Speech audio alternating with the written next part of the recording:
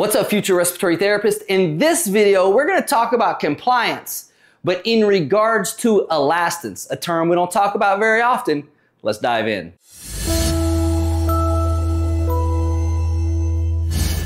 Alrighty, so as I mentioned in this video, we're talking all about compliance versus elastance and why you should understand them. Before we do that, hit, do me a favor, head over to respiratorycoach.com. Check out the TMC and the CSE boot camp sitting there waiting for you to aid and assist you in passing your credentialing exams on the first attempt. If you check that out, I'd greatly appreciate it. Now, compliance versus elastance, they are not the same thing.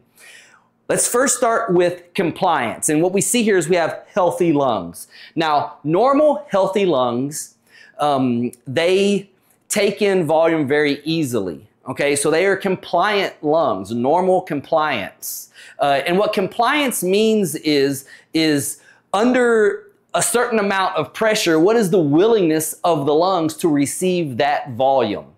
Okay, so this is what we're talking when we talk about compliance. Somebody would say, how easily will the lungs stretch in enduring inhalation? You see, compliance, the key here is all about the inspiratory side of things. How easy is it to deliver gas to the patient under pressure?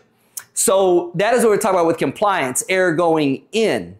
So now when we talk about elastance, we're talking about the expiratory side of thing. We're talking about air coming out because here's what we learned very early on in our respiratory journey is that inspiration is active. We, we, the diaphragm contracts and we draw air, air moves into our lungs.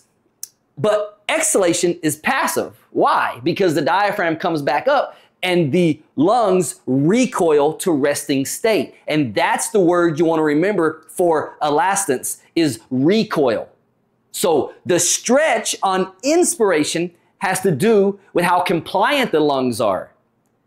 The recoil back to resting state during exhalation, that's elastance. Now, the key thing here is to understand how these two components work together uh, and how they are related. So let's take a look at what that looks like.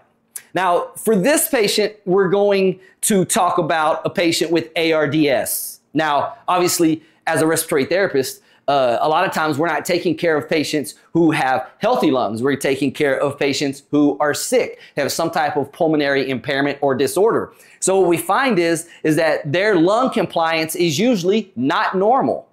So what we know from that is, is that when somebody has ARDS, then what we get are stiff lungs. Now think about it. If the lungs become stiff, is it going to be easier or harder to get air or a volume of gas into the patient's lungs? Are they going to be compliant and say, give me the, give me the air, give me the air? Or do you think they're going to be more non-compliant to resist that air coming in and be harder to get them to inflate. Well, if you said they would be more likely to be non-compliant, then you are correct. ARDS will cause a decrease in compliance. Now, this is an important point here because while we have a decrease in compliance, what we find is that we have an increase in elastance with our ARDS patients. And and that makes sense when you think about it. The lungs don't want to stretch. When you apply positive pressure to them, they don't want to open. They're very non-compliant. So at the end of that inspiration, when exhalation, remember, is passive, the lungs go and they exhale very, very quickly. You see, that's the key point. Decreased compliance will yield an increased elastance or elasticity. That's the, that's the big point here is realizing that they have an inverse relationship. Let me show you one more thing here. Let's talk about emphysema. Now you see emphysema, contrary to popular belief, people think, oh, if you smoke too much, you'll get emphysema and your lungs will become um, uh, uh, black and stiff. And, and that's not true. They, they don't get stiff. They actually become overly compliant. They become big and floppy. So their compliance actually increases. But you see, this is where that increased compliance is a problem because you may think to yourself, well, that sounds like a good thing. Why would we have a problem with compliance being up? Well, if the compliance is overly compliant to a detrimental state, then what we find is elastance goes down. Interesting, right? Now, remember why elastance is important? Recoil. That is how the, that, that's, that's a mechanism of exhalation. Air goes in, nice compliant lungs, exhalation, the lungs recoil back to resting state.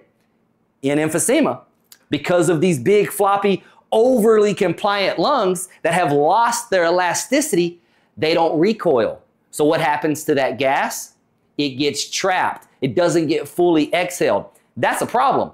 That's also why you focus on when we're working with patients with emphysema, COPD.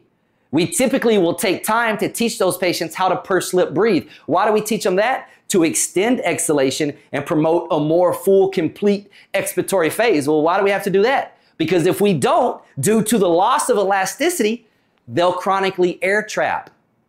During mechanical ventilation, you'll find that for your emphysematic patients, you typically want a longer E time. Why? To allow more time for that air to escape. Why do they need more time for the air to escape? Loss of elasticity along with other things, airway resistance, increased secretions, uh, bronchospasm, those type of things too. But from an alveolar lamp standpoint, talking about compliance, very compliant lungs, very easy to ventilate, not very good on the expiratory side of things. Let's go back one time. Let's go back to ARDS. Remember, ARDS poor compliance, very decreased compliance, which means they have a very high elasticity. Now watch this make sense. Remember when we talked about emphysema, we talked about a long E time. Now you see, you couldn't, you couldn't, you couldn't ventilate an ARDS patient the exact same way you could ventilate or should ventilate an emphysema patients. And it all comes back to these concepts right here. Because see, ARDS with that high elasticity, that air doesn't want to go in and then it comes out very, very quick, which is why we use higher rates on these patients. Why we can use higher rates on these patients. Why? Because we're not worried about air trapping like we are with emphysema. So you see how these concepts, compliance, elastance, and then tying them in to your disease processes is going to help and make you a better respiratory therapist because you're going to understand when can I use a higher respiratory rate? When is the inspiratory phase the problem, such as a decreased compliance, versus when is the expiratory phase going to be the area of focus because that's where the problems lie. That's compliance and elastance. All right, let's give you a quick summary here. Compliance, how easy it is or how easily the lungs are to inflate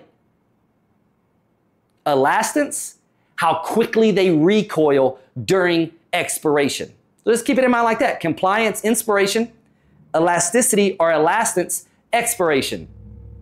Hopefully that helps. I appreciate you watching. I'm Respiratory Coach. Do me a favor, stay here with me right here on YouTube. Uh, if you haven't already, please hit the subscribe button, the like, and leave me a comment. Tell me how often do you talk about elasticity at the bedside with um, your fellow respiratory therapists. Instagram, TikTok at Respiratory Coach, LinkedIn at Joe Lewis, respiratorycoach.com. Don't forget about the TMC and the CSE boot camps. And above all else, remember, average is easy. Don't be it.